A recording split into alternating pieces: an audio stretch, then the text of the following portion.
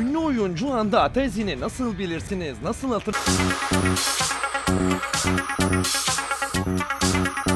Ünlü oyuncu Hande Ataizini nasıl bilirsiniz, nasıl hatırlarsınız desek hepimizin hafızasında Beyoğlu'nda kameralara şemsiyeyle saldırdığı son görüntü vardır.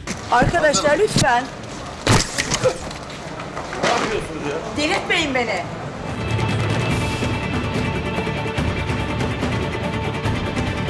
Bu olaydan sonra Amerika'ya giden Hande Hanım, Bodrum dönüşü İstanbul Atatürk Havalimanı'nda karşımıza çıktı. Tatil dönüşünde harap ve bitap bir şekilde görüntülediğimiz Hande Ataizini görünce tanımakta zorluk çektik.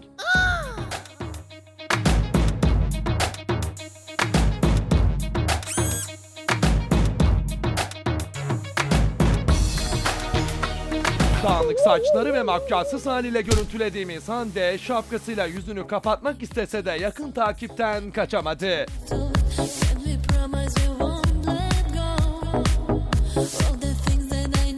Hande Ataizi yaşadığı olaylardan ve bir türlü mutluluğu yakalayamadığı özel yaşamından dolayı mıdır? Yoksa yol yorgunu mudur bilemiyoruz ama her zaman bakımlı görmeye alışık olduğumuz halinden eser yoktu.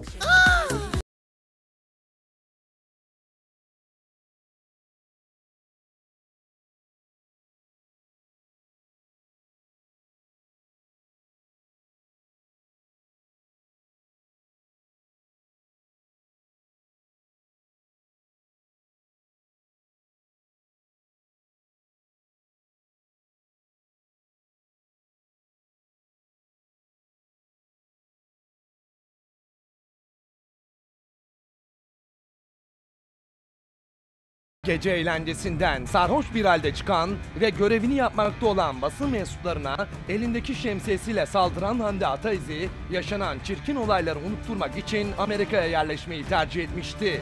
Hande'nin Amerika macerasının çok uzun sürmediğini düşünürken Hande tekrar Amerika'ya döneceğini söyledi. Bir daha Amerika'ya gitmeyi düşünüyor musunuz? Düşünüyorum. Neden buradan sıkıldınız? Yok tatile yani. Her zaman pahalı ve lüks arabaları tercih eden Hande Ataizi bu sefer minibüsle ayrılıyordu havalimanından.